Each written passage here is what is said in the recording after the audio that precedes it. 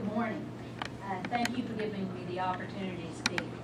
I'm here today representing Georgia Southern University's Allen E. Paulson College of Engineering and Information Technology. Our president at Georgia Southern, Dr. Brooks Keel's mandate to the staff is to promote and drive economic development wherever we can. The proposed wind demo project in the IRP is about economic development, and we are excited about the possibility of working with Georgia Power. Dr. Rahman at Georgia Southern University is an expert in wind energy, wind energy and vertical axis wind turbines. One of his PhD students is already working with GE Energy.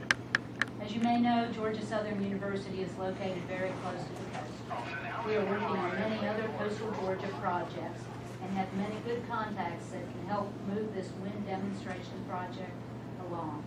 Also, we understand that Daimler Chrysler in Brunswick has expressed interest in a wind project. We would love to ex- help explore that possibility. Georgia is blessed with many natural resources. Over my many years with the state of Georgia, I've worked with biomass electricity projects.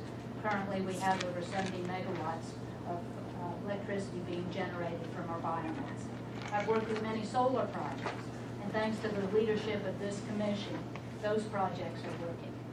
Georgia Southern University is willing, able, and ready to help Brenda bring a wind demonstration project to life on Georgia's coast.